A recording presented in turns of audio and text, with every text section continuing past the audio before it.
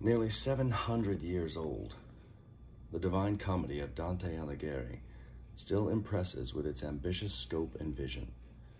The three volume work takes for its grand theme the experience of life after death and explores its possibilities in the three metaphysical settings alluded to in each book's title Inferno, Purgatorio, and Paradiso.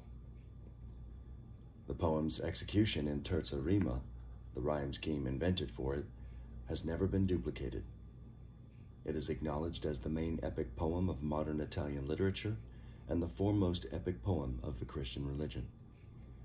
It has influenced writers ever since its publication, and as the Argentinian writer Jorge Luis Borges says, as soon as I open it tomorrow, I will discover things I did not see before.